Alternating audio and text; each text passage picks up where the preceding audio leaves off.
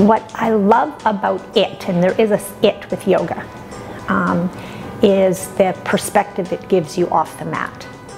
Hi, I'm Ida Albo. I'm owner of Yoga Public and Prairie Yogi of the Month for April. It doesn't matter what kind of mood you're in before class. You will spend an hour on a yoga mat and you will be in a better mood after class. When you're working and you're a mom and you're a wife and you're a sister and a daughter and you have all these other roles, but then you have to find a way to steal time for yourself. And it's nice for some people, they can steal the same hour every day, but most people can't steal the same time every day.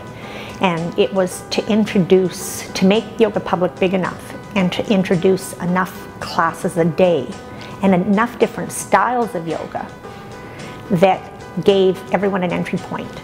An older man uh, came in and um, his posture was, wasn't great, but he was holding on to the, um, the front desk. And he took out his credit card and he said, I'd like to buy a one-year pass.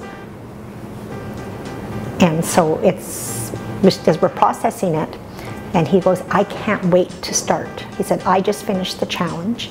And he said, look at me.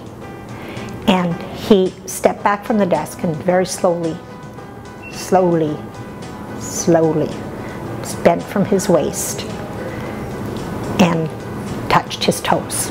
And I'm gonna say at least a minute, maybe 90 seconds for him to do it.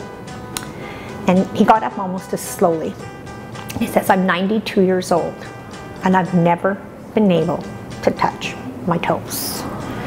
I'm a yogi the same way I'd be a yogi in India or I'd be a yogi in California or New York. Just have the, all those things that they have there, we have it here.